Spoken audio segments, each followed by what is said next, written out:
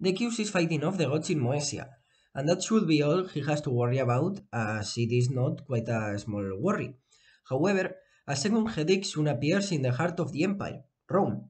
Julius Valens Licinianus, a renowned senator mentioned in Cyprian's letters, has taken advantage of the lack of authority in the capital and has attempted to achieve power. According to The Roman Empire from Severus to Constantine, written by Pat Southern, Decius' son Hostilian was also at Rome during this time, but he was kept safe by the urban prefect, a certain Publius Licinius Valerianus, later known as Emperor Valerian. The reason for Licinianus' usurpation is unknown, but we can surely theorize several of them.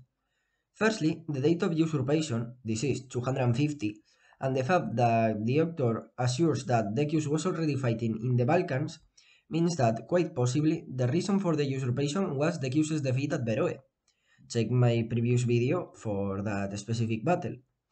The Decius wouldn't make any new movements in what was left of the year, so it was quite probably a plot to get rid of the emperor while he was stuck trying to not get killed by the Goths, something he will prove to be quite a failure.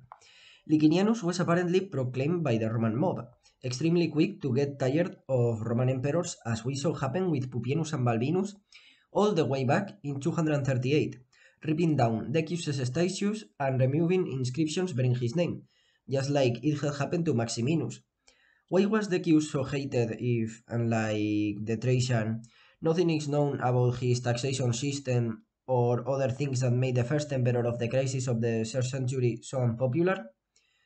I can't really say. What I can say, however, is that as quickly as he was hoisted to the purple, Licinianus was taken down, for the Roman mob had no army itself to protect themselves, and so, after barely a few days, he was executed by Valerian after being captured.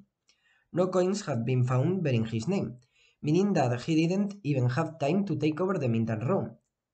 Soon later, after this affair, Decius would react, emitting several coins bearing deified emperors in an attempt to improve his public image, further showing that the usurpation attempt had been carried out out of fear. And he hoisted his son Herennius Etruscus to the rank of co-emperor, also making his second son Hostilian Caesar.